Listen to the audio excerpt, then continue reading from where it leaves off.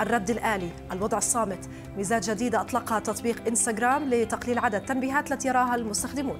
وللرد على حاجة ملحة للمستخدمين معالجة إدمان المنصات. الميزات الجديدة تحاول مساعدة المستخدمين على مكافحة هذا الإدمان الذي يسيطر على حياة الناس عبر الهواتف الذكية وذلك بالتقليل من استخدامها. الوضع الجديد سيكون مناسبا للأشخاص الذين يحاولون التخلص من التعلق الشديد بوسائل التواصل ما يمكنهم من التوقف أو يمكنهم من التوقف عن إدمانها. وتستهدف الميزات الجديدة المستخدمين لا سيما المراهقين منهم في بريطانيا الولايات المتحدة إيرلندا كندا أستراليا ونيوزيلندا. وسيكون متاحا قريبا في دول أخرى. المزيد مع كلاميس. العديد من المشاهير حول العالم فضلوا الابتعاد كليا أو جزئيا عن وسائل التواصل الاجتماعي. الحارس الإسباني فيكتور فالديز الذي لعب في برشلونة لسنوات عدة أغلق جميع حساباته في مواقع التواصل عقب اعتزاله مفضلا الابتعاد عن الأضواء والتفرغ لعائلته. كذلك. فإن الفنانة الشهيرة مايلي سايرس حذفت عام 2018 جميع صور على إنستغرام ثم حذفت حسابها على المواقع مؤكدة أنها ترغب باستراحة حتى تشعر أنها أفضل. وحذف الممثل الكوميدي الأمريكي بيت ديفيدسون حسابه على إنستغرام بعد أن عبر الناس عن آراء سلبية حول علاقته العاطفية والرومانسية مع أريانا جراندي مؤكدا أنه لم يستطع التعامل مع التعليقات السلبية التي تلقاها من المعجبين الغاضبين. وأيضا غادرت الممثلة الأمريكية كيلي ماري تران إنستغرام بعد شهور من المضايقة من مشجعي حرب النجوم العنصريين وتعليقاتهم المسيئة لها والتي لم تستطع تحملها.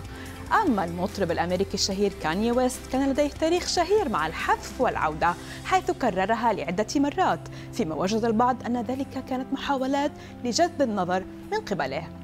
على كل حال سألنا الناس في السعودية متى يمكنك هجر ال social media وممارسة social media detox؟ نتابع.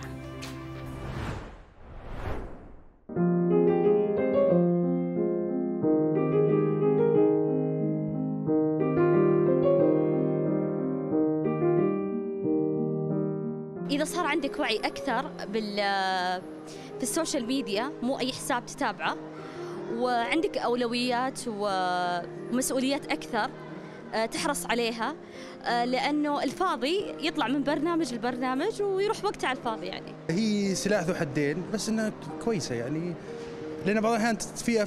في آه، أخبار أو في أشياء إذا قريتها تسوي لك تريح شوي يعني زي تفك الستريس اللي موجود لكن بعض الأحيان ما أنت برايق تلقاك مجرد ما تدخل أي برنامج على طول تطلع منه كذا تحس إنك منفس.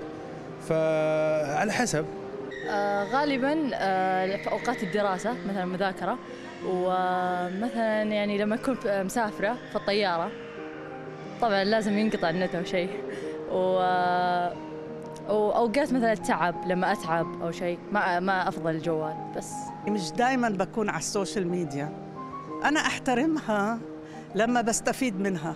بمتنع لما أكون مثلا قاعدة مع زوجي آه، أصدقائي في مطعم يعني احتراما.